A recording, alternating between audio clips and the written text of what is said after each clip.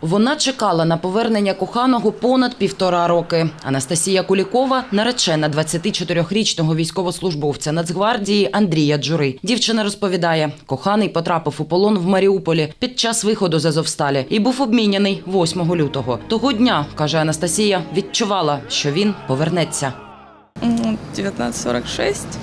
І в 19.46 від штабу отримала, що його звільнено з полону.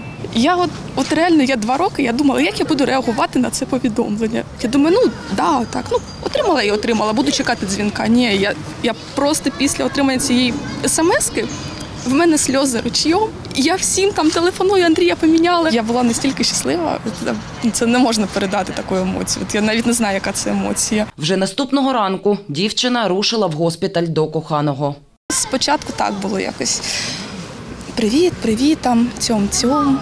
Скучили, я скучив. Ну, а потім вже розговорилися. Він не змінився. Я реально очікувала, що він буде якийсь інший, що там може якось полон е, скажеться на ньому. Ні, він веселий, він там мене не там підтримує навпаки. Андрій Джура долучився до лав Національної гвардії у 2018 році. Повномасштабну війну зустрів у Маріуполі. Анастасія каже, коханий підтримував з нею зв'язок до початку травня. Та після кількох тижнів тиші і виходу наших захисників з Азовсталі дізналася, що її хлопець у полоні. Зізнається, усвідомлення того, що він живий, заспокоїло її, але теракт в Оленівці знову вибив землю з під ніг.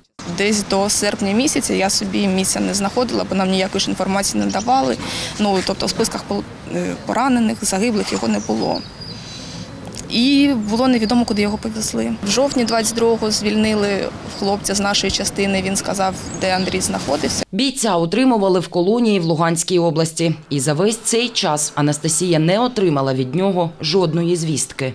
14 лютого 22 22 року я йому подарувала футболку. Він її вберіг от до обміну. Я йому писала в телеграмі рік, поки аккаунт не видалився. Потім писала в месенджері. Анастасія з Андрієм познайомилися у 2021 році. Дівчина згадує, за кілька місяців він освідчився, а вона сказала так. Зараз дівчина знову чекає нареченого, але тепер вже з реабілітації. Каже, чи повернеться хлопець на фронт, поки невідомо. Але підготовку до весілля розпочнуть, як тільки він приїде додому. Анастасія Потапенко, Данило Войтовський, Суспільне, Новини Запоріжжя.